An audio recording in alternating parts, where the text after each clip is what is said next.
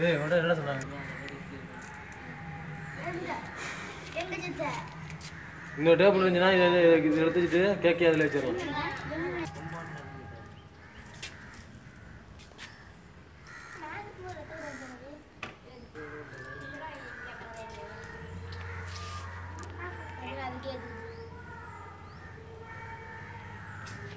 Yeah.